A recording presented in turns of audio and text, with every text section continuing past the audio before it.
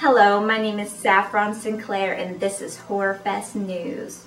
Our first story this evening, a little girl named Carol Ann is connecting with the supernatural through the television.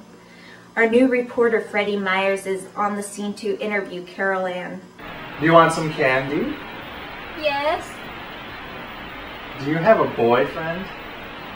I don't know. Where's your mommy and daddy? They're here. Okay, uh, we better go. Let's just go. Earlier today, I had the honor of interviewing a very special man named Jason Voorhees. Hi, Jason. So, what have you been up to lately? I've been killing. Ooh, I like that. Mm. You've been to many places. Crystal Lake, Manhattan, space, and hell. Do you have a favorite location? I do. I kind of like it uh, under the bed. Mm. Under the bed, they can't see you when they walk in the room, and you can reach around and grab them. You can poke up through the bed. You get a lot of good action there under the bed. It's fun. Mm, That's my favorite location, too. Mm. Mm. You've been killed and resurrected over and over and over again. What's it like? It hurts. Physically and emotionally.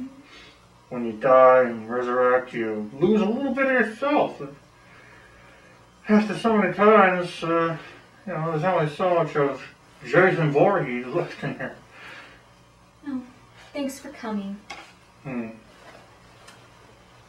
Ooh, strong. What are you doing this Friday? Yes, he is a very strong man. Just in, I have been informed that there have been recent sightings of a leprechaun in the hood. So beware. In other news, a young girl named Reagan McNeil has been exhibiting strange and unnatural powers. Freddie Myers is on the scene to investigate. Reagan, would you like some candy? Shove that candy up your Reagan, do you have a boyfriend? Your mother sucks in hell.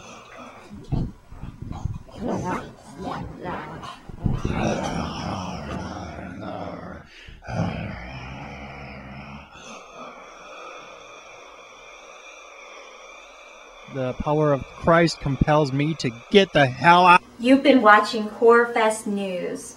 Horrorfest 3, 8 films to die for.